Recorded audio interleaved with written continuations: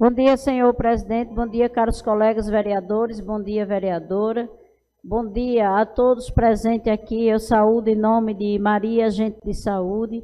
A dona Lita também, que está aqui sempre nos visitando. Então, um abraço. E um bom dia também a Maria Costureira, que toda quarta-feira está ouvindo a nossa reunião.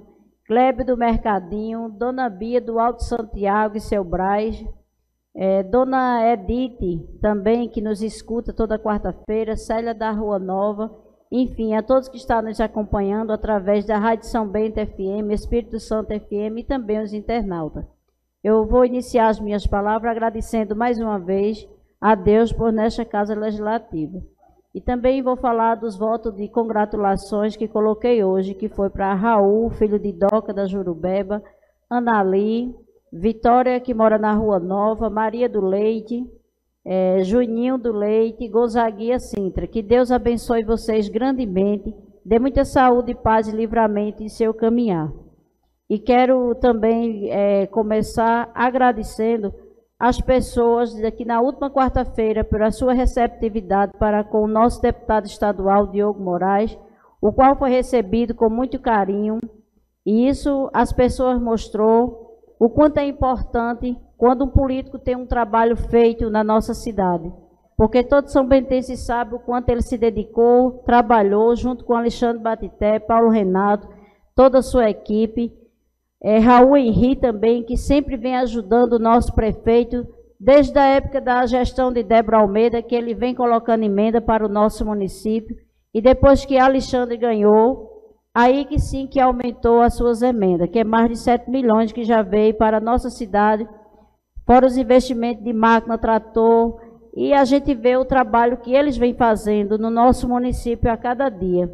Então a gente vê os esforços, vê a dedicação e todo mundo junto, né? Porque eu digo, esse ano de político tem muitos deputados estaduais e federais que muitos vereadores apoiam, outras pessoas também que apoiam, mas que a nossa população tenha um olhar diferenciado para os candidatos do prefeito Alexandre Batité, porque sem o apoio do deputado federal e estadual, não tem como a cidade fazer um bom trabalho, porque são eles que mandam as emendas para o nosso município, são eles que estão junto com o nosso prefeito Alexandre Batité, Paulo Renato, toda a sua equipe, o qual também agradeço o esforço de nosso secretário de Infraestrutura, André Valença, pelo seu trabalho, André, que você vem fazendo todos os dias ali naquele bairro, Joaquim Ferreira, Dailton Costa ali, então a gente vê o seu trabalho e toda a população também vê.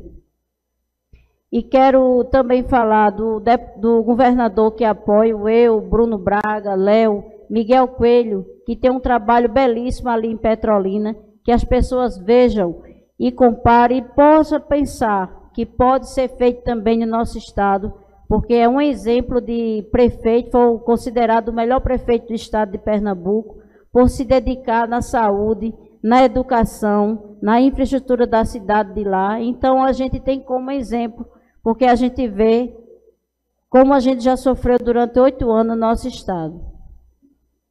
E quero também falar aqui do posto do Gama, que a secretária não colocou o médico lá ainda, senhor presidente, não porque ela quer, mas porque realmente é difícil um médico para se trabalhar em zona rural hoje em dia. Até porque, pelo salário que é pago, muitos não querem vir. E qualquer vereador aqui, se conseguir um médico que queira atender no Gama, é só falar com a secretária, porque isso ela vem todos os dias lutando, pesquisando, fazendo convite, e não é fácil. Todos nós aqui sabemos disso. E com por esse motivo, está sendo deslocado o médico para fazer um atendimento lá de outra região, de outro sítio, para socorrer aquela população que tanto precisa, porque um, um PSF, ser um médico que tem vários atendimentos de sítios vizinhos, só sabe quem mora lá e quem precisa de seu atendimento, do seu acompanhamento pelo médico, né? E também quero falar aqui das estradas. Graças a Deus que houve muita chuva, que ainda, muitas vezes ainda está chovendo, e dificulta muito o trabalho da zona rural, de toda estrada que foi danificada com a chuva.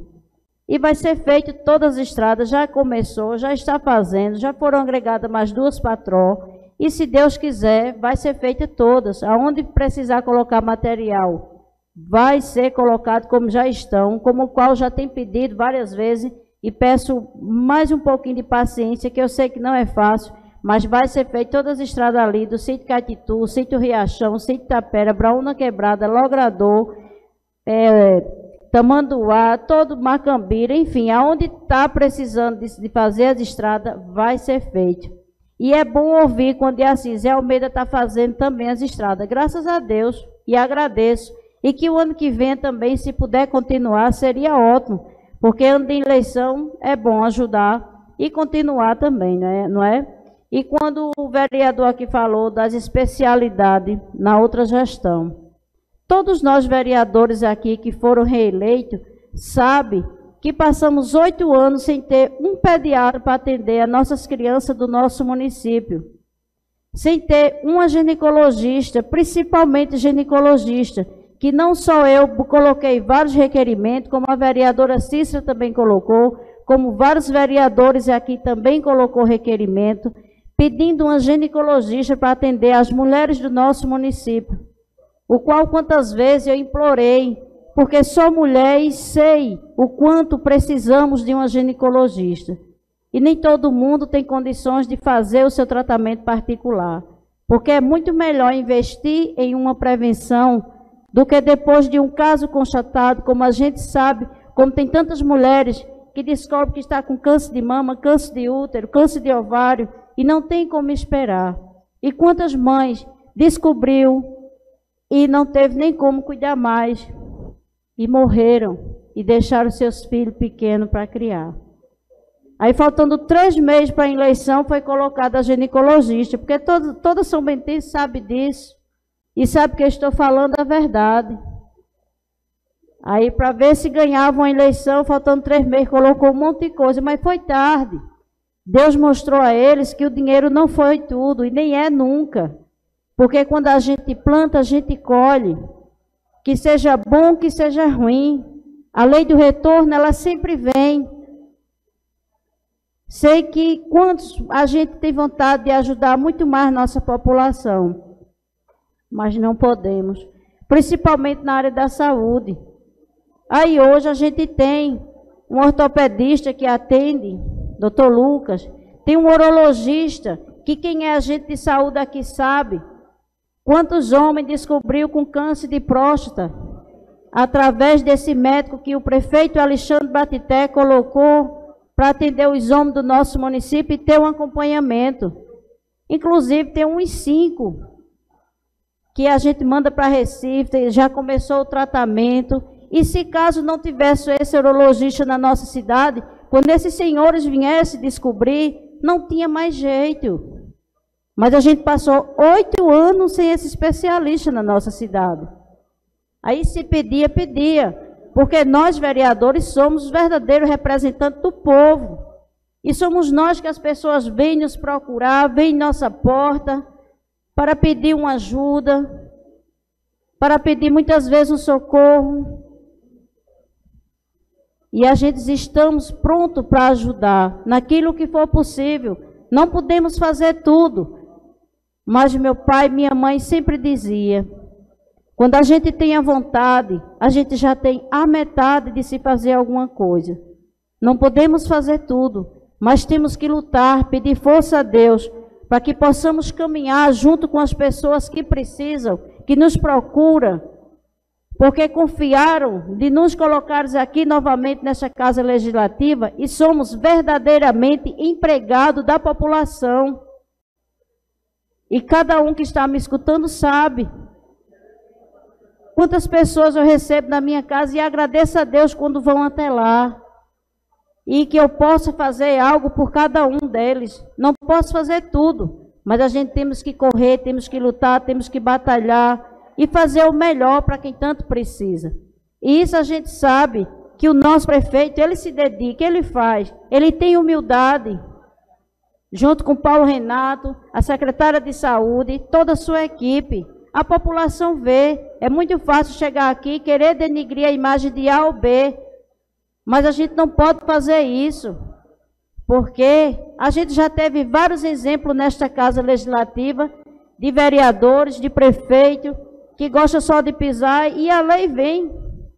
Em seguida recebe com juro e correção, que seja qualquer um de nós que aqui está.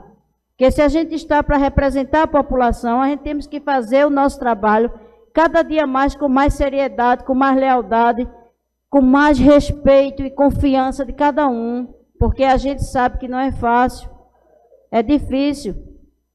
Estamos aqui para cobrar ao nosso prefeito, a toda a sua equipe, todo secretário, que a gente cobra quantas vezes preciso for, independente que seja situação, oposição, mas temos que estar ali firme e forte, levando as demandas da nossa população para que o prefeito de nossa cidade possa resolver. Que se demorar, mas tem que ser feito, a cobrança vai do mesmo jeito.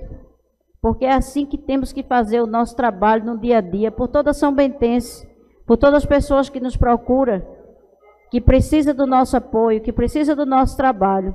E também quero dizer aqui ao nosso vereador Nilton, que me antecedeu, quantas reformas, só um minuto do senhor presidente, quantas a reforma dos PSF que estão sendo feitas, que começou na Pimenta, quando sair da Pimenta vai ter o Espírito Santo para reformar, o Gama, Jurubeba, que é qual até já pedi também, coloquei requerimento, mas vai ser feita as reformas se Deus quiser.